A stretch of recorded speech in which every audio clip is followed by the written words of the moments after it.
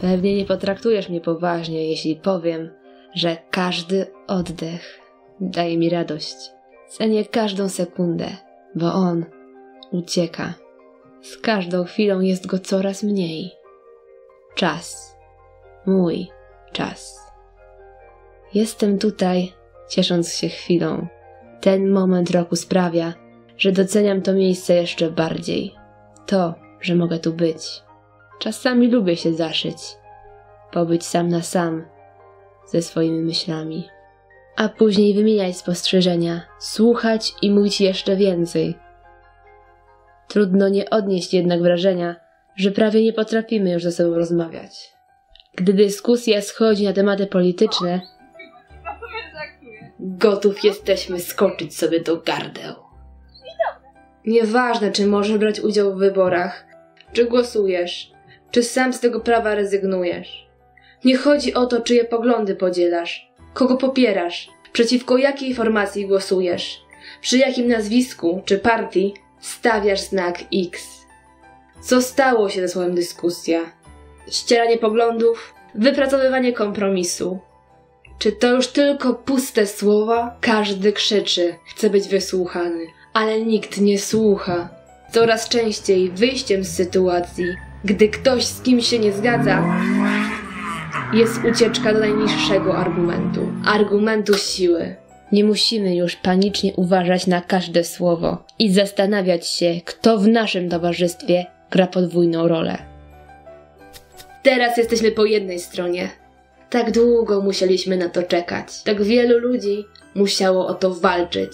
Pewnie nie jest możliwe, aby każdego dnia myśleć o tym, jak wiele mamy. Żyję. Jestem zdrowa. Mam gdzie spać, co jeść. Mogę się uczyć, pracować, realizować swoje pasje, spełniać marzenia. Moi dziadkowie nie mieli tyle szczęścia. Urodzili się w czasie wojny. Moi rodzice w PRL-u. Nie zaznałam okrucieństw wojny, codziennej walki o życie, walki o niepodległość. Nie doświadczyłam okupacji, ani ucisku komuny. Nie muszę tego przeżywać i doświadczać na własnej skórze, żeby wiedzieć, że tego nie chcę, aby docenić, że żyję w wolnym kraju.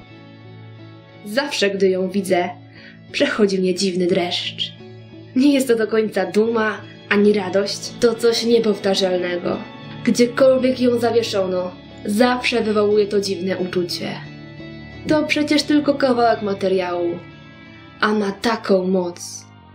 Urodziłam się w wolnej Polsce i cieszę się tym każdego dnia.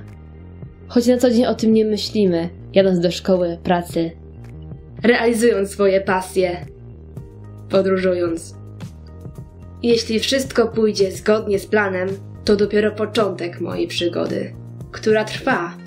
Zobaczyłam i doświadczyłam tak wielu pięknych miejsc, i z każdym dniem chcę coraz więcej. Dzisiejszy dzień jest absolutnie szczególny. Wspaniale być jego częścią i móc powiedzieć, że Polska, w której żyję, jest wolnym krajem. Że po stu latach od odzyskania niepodległości Polska nadal, a może znów, jest niepodległa. Trudno mówić o stu latach niepodległości, bo liczba rozbiorów w naszej historii nie skończyła się na trzech, dobrze znanych ze szkoły. Potrafimy docenić coś dopiero kiedy to stracimy. Powinniśmy więc być w tym mistrzami, ale zdajemy się tego nie zauważać.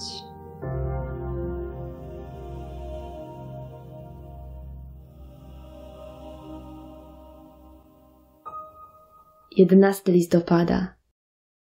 Setna rocznica odzyskania niepodległości. Dziękuję.